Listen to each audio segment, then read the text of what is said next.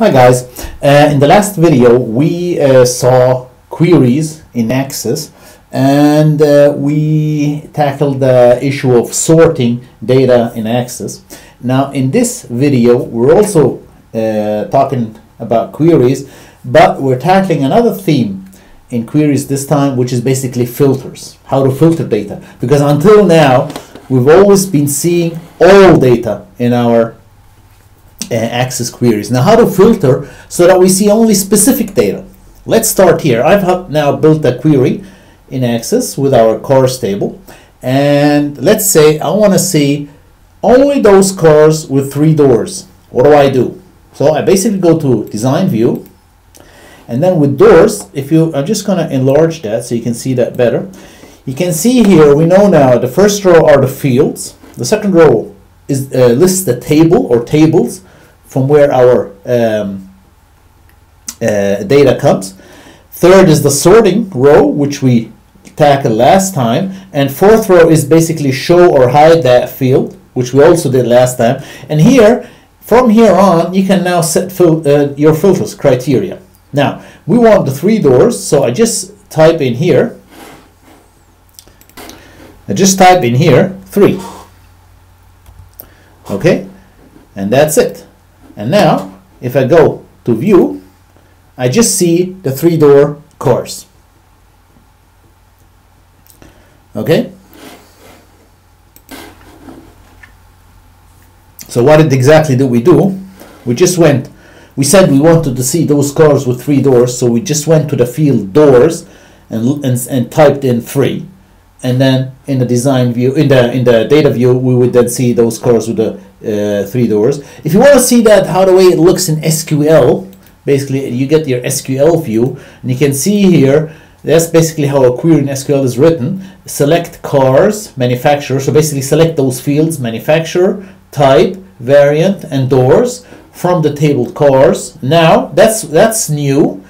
Where this last line is new. Where car doors, or basically doors, is equal to 3. This is the line that wasn't before in any of other queries, but now it's in here because this is the filter uh, line which basically limits the data we see in our uh, uh, data view uh, because previously we always saw everything, now we just see that what we want to see.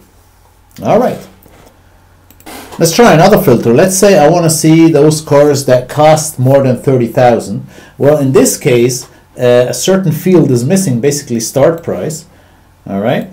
And I would like to still only see those first four fields. So I just take that checkbox off and now I build a filter. So you can see another reason why those checkboxes, last in the last video we saw that those checkboxes um, allow you to hide fields you need in your query to sort but you don't want to see. And here the same reason, I need that field to, to set the filter, but I don't want to see it. So I just check, uh, uncheck the checkbox, it's invisible, but I need that field in here to um, set the filter. And the filter is, all I need all cars whose price is greater than 30,000, and greater than is this sign, and then just write in 30,000. Okay, and then let's see our uh, data view. Right, and there we are. Those are the cars that cost more than 30,000 but we're not seeing the price because we don't see the price. We don't want to see the price. We hit it. We uncheck the checkbox and there are the cars. If you want, if you want to see the prices, then you just go back to the go back to design view and just put in the checkbox. Go back to view and there we can see. All right. And basically, uh, when you set a filter,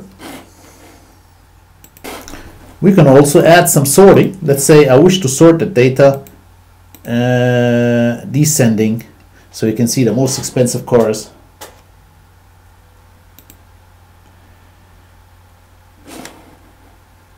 so here we have basically the filter and sorting together in the same field and in the same query so basically here we're combining our knowledge from the previous video and what we learned today right and uh, obviously, if you want the car smaller or equal to 30,000, you just reverse that sign, smaller than and equal. And then going back to our data view, you can see all those cars that are cheaper or equal to 30,000 listed here.